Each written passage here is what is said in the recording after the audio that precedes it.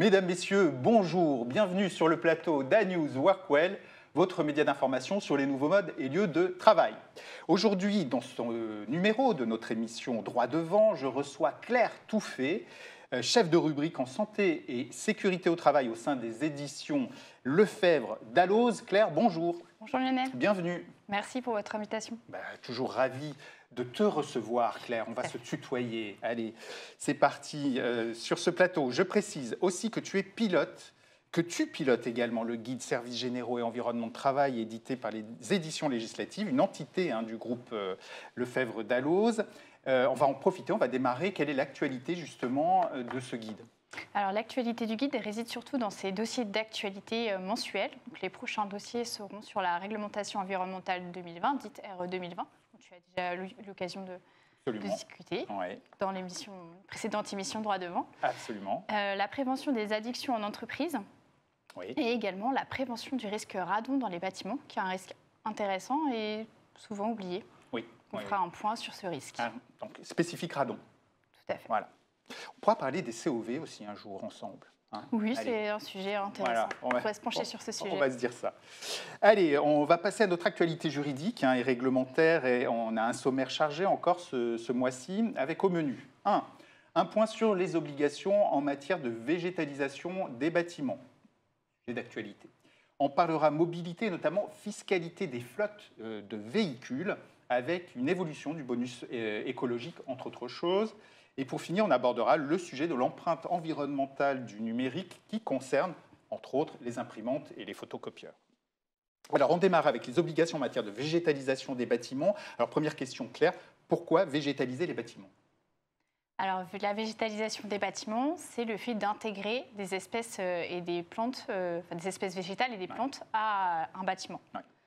Il en existe deux. Il faut savoir qu'il y a une, euh, végétalisation horizontale, donc sur les toitures terrasses, et la végétalisation euh, verticale sur les façades et les murs. Le plus souvent, on va faire de la végétalisation horizontale sur les toitures terrasses. C'est ce qu'on voit. En ce moment, dans tous les projets, hein, quasiment. Dans tous les euh, projets, avec, les avec, les certifications euh, également, on voit cette, oui, parce Que, désormais, beaucoup de certifications donnent des, notes, hein, voilà, et, donnent une note au fait d'avoir des, toits terrasses. Et il n'y a pas que, d'ailleurs, les certifications, puisqu'on va en parler. Il y a aussi maintenant la, réglementation. La réglementation est là également. Euh, au-delà de la réglementation, avant même ça, on peut voir tous les avantages de la végétalisation. Il y a beaucoup d'avantages, puisqu'en fait, ça va améliorer la qualité de l'air, puisque suivant le choix des plantes qu'on va faire, il y a des plantes qui sont dépolluantes, qui vont venir capter des métaux tels que le cadmium, le cuir, le zinc. Il y a vraiment des études qui prouvent cette captation de CO2 et autres euh, poussières. composés hein, organiques volatiles, justement. Exactement un effet positif sur la biodiversité. Ça va permettre euh, le développement de la faune et de la flore, forcément, au niveau de la végétalisation. Notamment avec les plantes mellifères, ça va permettre être favorable aux pollinisateurs, notamment les abeilles. Ce qui peut être intéressant quand on voit les problèmes entre les abeilles et les frelons, euh, le fait qu'on a de moins en moins d'abeilles. Et pour les entreprises, deux vrais avantages, ça va être la rétention des eaux de pluie par euh, ces installations de toiture végétalisées on le voit bien avec les, malheureusement les inondations qu'on connaît euh, avec le dérèglement climatique. Mhm. C'est intéressant d'avoir cet avantage par les toitures végétalisées.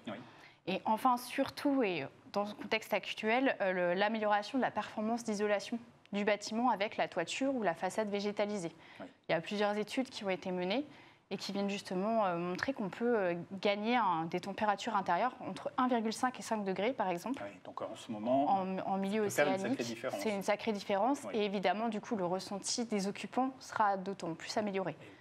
Donc meilleur confort au travail, donc on est aussi dans la qualité de vie au travail pour le coup. Exactement. Alors on comprend bien évidemment que le, législateur s'intéresse hein, à ce sujet.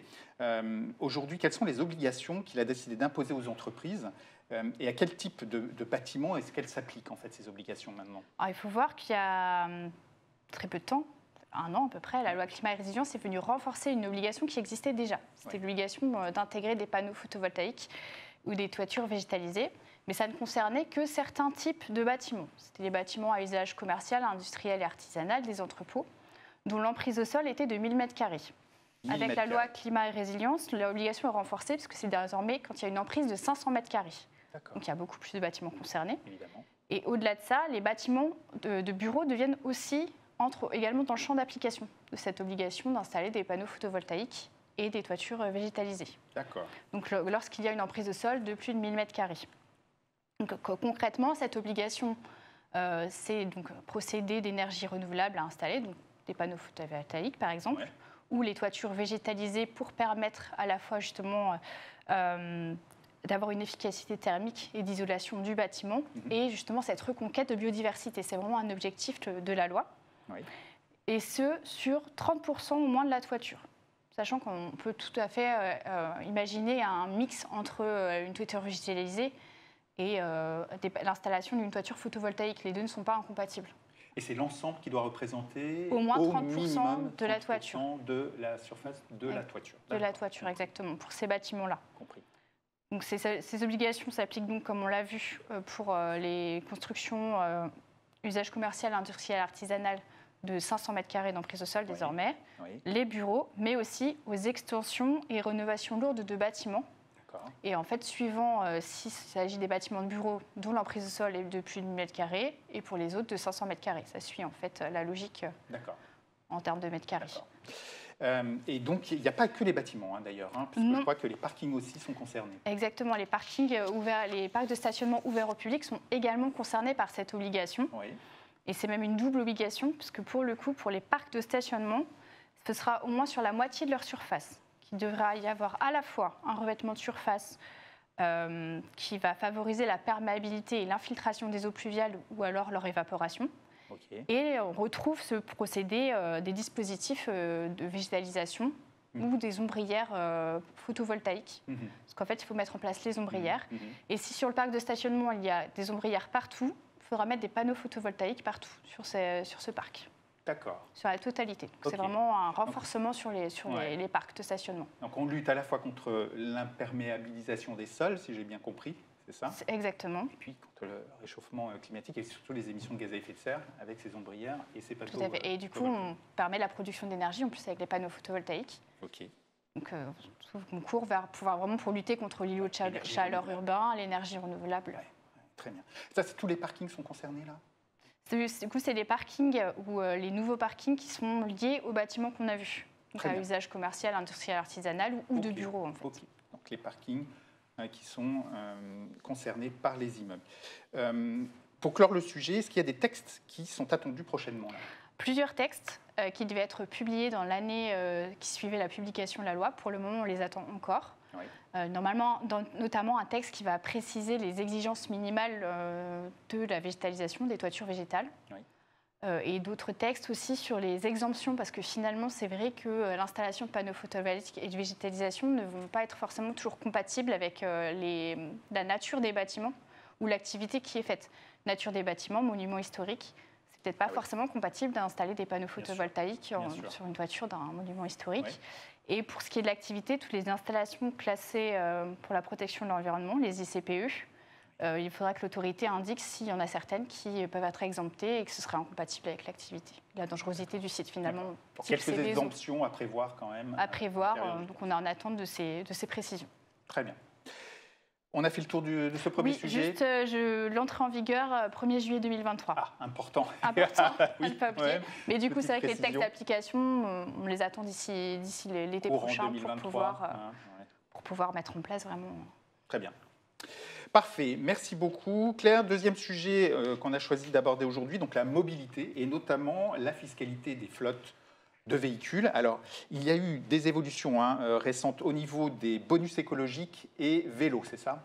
Oui, pour les véhicules, il y a vraiment au niveau du bonus écologique, de- depuis le 1er juillet, il y a un maintien en fait, des, des bonus écologiques au niveau actuel, parce qu'ils Oui. devaient être de nouveau baissés. Oui. Ça fait plusieurs fois que par, euh, par décret, en fait, on vient maintenir ces niveaux pour favoriser vraiment le- la transformation du thermique vers euh, des véhicules plus propres et l'électrique. Oui. Donc en fait, pour une entreprise, ça se concrétise par la possibilité d'avoir un bonus écologique jusqu'à 4 000 euros pour un véhicule léger et D'accord. 5 000 euros pour une camionnette. Et en fait, les véhicules qui sont concernés sont plus nombreux aussi, parce qu'un décret de fin juillet est venu étendre, ce ne sont plus les véhicules entre 21 grammes par kilomètre et 50 grammes par kilomètre, mais à partir de 1 gramme par kilomètre qui sont concernés par le bonus. Oui, donc, Donc ça étend les- le dispositif, c'est tous les quasiment tous les véhicules. Ah, ouais, électriques finalement. Et bien. normalement, les, les montants du bonus écologique seront de nouveau abaissés au 1er janvier 2023, sauf à ce qu'un nouveau texte vienne encore maintenir le niveau pour, euh, pour cette transformation. Et pour le moment, c'est jusqu'au 31 décembre 2022 31 décembre que les montants de ce 2022. bonus écologique sont, fixés. ce- sont fixés. Ok. Euh, Pour le vélo, Oui, voilà, il y a, je crois, voilà, aussi euh, des, des évolutions hein, du côté euh, Oui. à la conversion aussi. euh, du coup, pour le vélo, juste le bonus, il est augmenté jusqu'à 2000 euros aussi. D'accord, ça c'est le euh, bonus écologique. Alors, C'est le bonus toujours écologique, toujours bonus écologique. Et il n'est plus nécessaire qu'on ait, pro- on ait bénéficié d'une aide locale pour pouvoir bénéficier de ce bonus vélo. Donc ça ouvre aussi euh, la, la possibilité d'avoir ce bonus. D'accord. Euh, et ce bonus vélo, il représente, il est égal à quoi en fait? Euh, c'est alors le bonus vélo, c'est une bonne question. C'est 2000 euros et il redescendra également à, enfin, il peut aller jusqu'à 2000 euros suivant les cas pour le vélo. Et il descendra à 1000 euros au 1er janvier s'il n'y a pas de nouveau texte euh, qui, maintient, qui le maintient ou qui l'augmente. Très bien. Euh, euh, donc j'y reviens, il y a aussi la prime à la conversion. Non mais c'est une jungle, hein, donc c'est bien de faire plus, le les, point Les textes dessus. fluctuent assez souvent. enfin, C'est vrai, c'est vrai. euh, et, mais, mais en- et se suivent en fait évidemment Ouais. parce que les Ouais. deux, il faut quand même le dire à, à la base, le bonus et la prime à la conversion sont cumulables, ce D'accord. qui est intéressant. Ce qui est intéressant. c'est pour ça que les textes finalement se suivent aussi pour euh, maintenir ou Harmoniser. évoluer, Ouais, harmoniser les choses. être cohérent, évidemment. Euh, donc évolution, du coup, du côté des primes à la conversion, pour le vélo comme pour les véhicules. Pour le vélo, c'est comme pour le bonus qui a été augmenté. En fait, l'idée, c'est qu'on y recourt plus à la prime à la conversion. Du coup, pour un même véhicule euh, polluant, en fait, plusieurs membres d'un même foyer vont pouvoir euh, demander la prime à la conversion. D'accord. Et de même, le montant est augmenté jusqu'à 3 000 euros de, de la prime à la conversion pour euh, la- l'achat d'un vélo à assistance électrique. D'accord. 3 000 euros pour le vélo. Et pour les véhicules? Pour les véhicules, euh, c'est jusqu'à 2500 euros la prime à la conversion. Et c'est un petit peu comme le bonus écologique. On a rentré plus de véhicules dans le champ d'application, Oui. puisque c'est aussi euh, les véhicules dont le prix d'acquisition est euh, égal à, euh, inférieur ou égal à 50 000 euros. TTC. Donc ça peut concerner plus de véhicules, Ça ça? plus de véhicules Mhm. et c'est aussi les émissions de CO2 entre 1 et non plus 21 et 50 grammes par kilomètre, D'accord. comme pour euh, le- le- les mêmes. euh, Donc là aussi, on élargit le on spectre. élargit le spectre, comme pour le bonus écologique. Ok. Très bien. Euh, merci beaucoup. Alors, dernier sujet de notre émission, l'empreinte environnementale du numérique. Euh, c'est un sujet parce qu'il faut rappeler que cette empreinte devrait doubler d'ici 2025, c'est tout proche, devrait passer de 2 à 4% des émissions de gaz à effet de serre. Donc c'est pourquoi le législateur s'est emparé de ces sujets à travers deux lois récentes. Oui, il a une loi de 2020 et une autre de 2021. Donc on a la loi AGEC, qui est la loi qui est relative à la lutte contre le gaspillage et à l'économie circulaire, et la loi REN, dite REN, qui vise à réduire l'empreinte environnementale du numérique en France. Donc c'est vraiment deux lois qui veulent faire euh, une euh, converger transition numérique et écologique. Oui. Pour la première loi, la loi AGEC, plusieurs points importants. L'indice de réparabilité et l'indice de durabilité. Oui. L'indice de réparabilité, comme son nom l'indique, c'est le fait de savoir comment un produit va pouvoir être réparé, Oui. Degré de réparabilité. Ça, c'est entré en vigueur au 1er janvier 2021. Oui. Et pour la durabilité, ça se reposera sur plusieurs critères, notamment la robustesse ou alors la fiabilité du produit. Et ça rentrera en vigueur au 1er janvier 2024. Il y aura une obligation pour les fabricants en fait, de donner euh, ces critères. D'accord. C'est un de- peu lié à l'obsolescence ou- Oui, ça, ça, on y viendra. L'obsolescence, c'est Mm. aussi euh, dans la loi Rennes, mais il y a vraiment cette idée euh, de durabilité des produits, en fait, de promotion des produits et de réparation possible Mm. Pour ne pas avoir d'obsolescence programmée. D'accord. Ok, recyclage, euh, recyclage et donc réemploi. euh, Qu'est-ce que prévoient exactement ces, ces deux lois, notamment la loi Rennes Alors, la loi Rennes euh, prévoit l'interdiction de l'obsolescence programmée, qui se définit par le fait justement de mettre en place des voilà. techniques, peut-être même certaines techniques logicielles, de limiter la durée de vie des produits. Oui.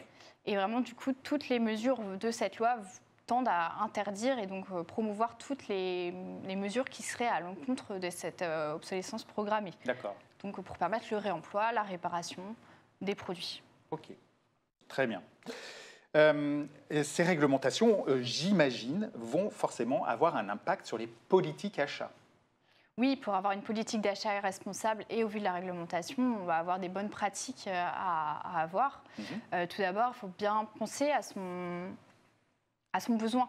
Oui. ne pas prendre des équipements euh, qui sont surdimensionnés euh, par rapport à leurs besoins, qui vont être plus consommateurs d'énergie, alors que ça on pourrait avoir un équipement moindre. Donc bien penser son besoin Oui.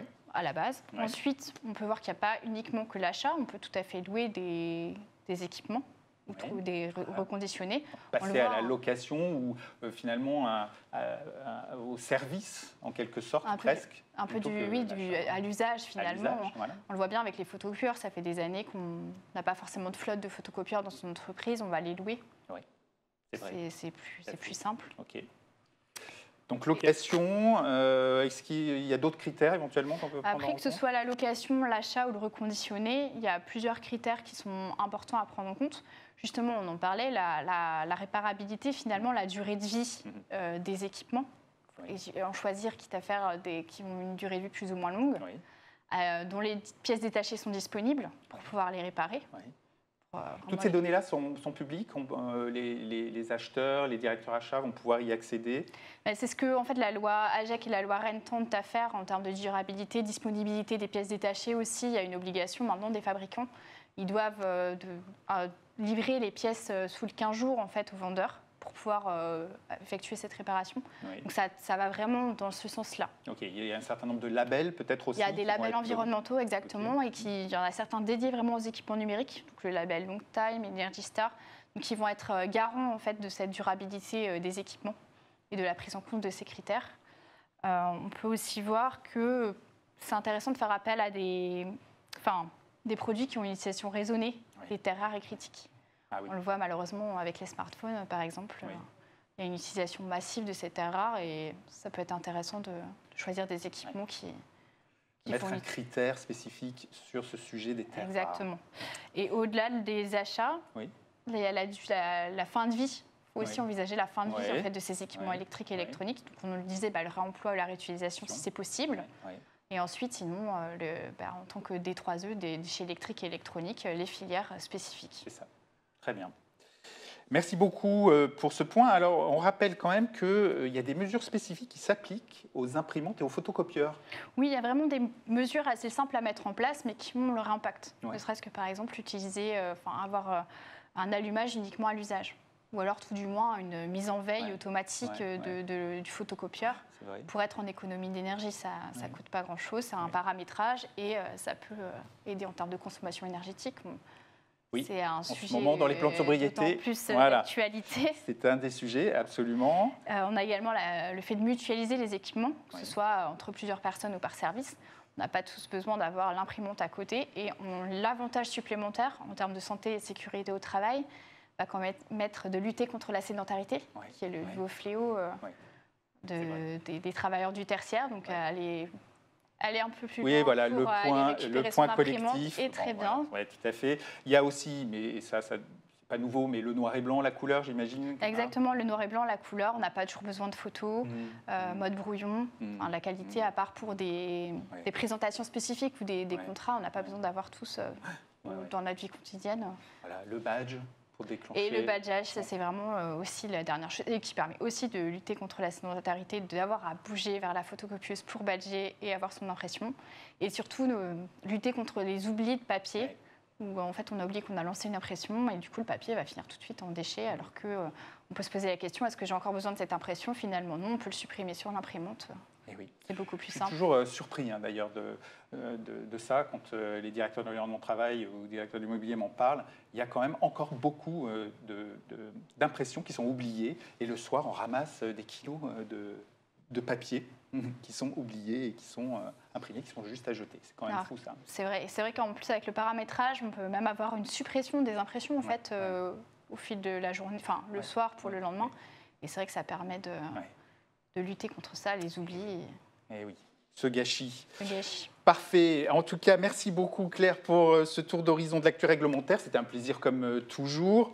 Euh, Je rappelle que tu es chef de rubrique en santé, sécurité au travail au sein des éditions Lefebvre Dalloz, qui édite le guide des services généraux et de l'environnement de travail, partenaire de notre chaîne ANews Workwell, et on en est ravis.